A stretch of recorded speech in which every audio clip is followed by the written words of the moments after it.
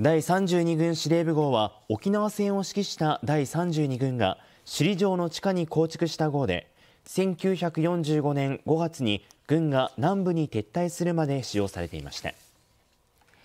今日の会見で玉城知事は住民を巻き込んだ組織的持久戦という沖縄戦の方向性を決定づける判断がなされた場所だとして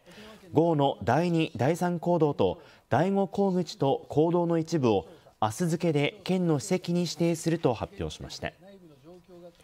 沖縄戦の戦争遺跡が県の史跡に指定されるのは初めてです。戦後80年を迎えてもなお伝えていかなければならないあの貴重な、えー、その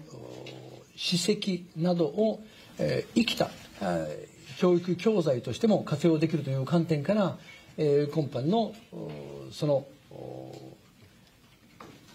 指定できたことは非常に有意義な方向性につながるものというように考えています。